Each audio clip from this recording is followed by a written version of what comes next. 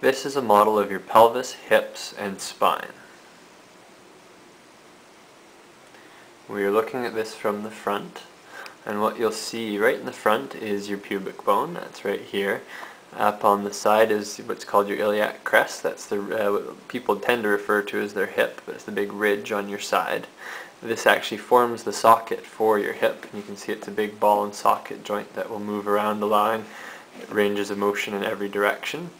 This bump here is actually called your greater trochanter and that's if you press your finger deep into the side of your hip, that's the bony bump you'll feel there. If we look in a little closer, again we're looking from the front, this triangle bone down through here is your sacrum and that's your tailbone. Uh, sacrum forms the base for your spine to sit on, so this is your L5 vertebrae, L4, L3, and so on as you go up.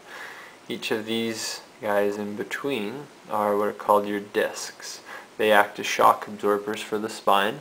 And they are filled with a, a jelly-like substance to help sh absorb shock.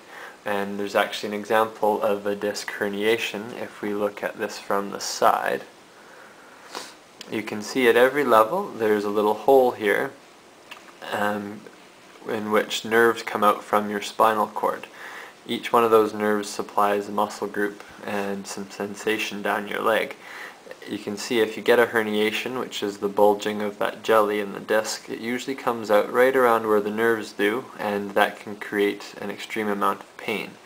These bottom few nerves all join together and come run down deep through your butt, down the back of your leg, and form what's called your sciatic nerve.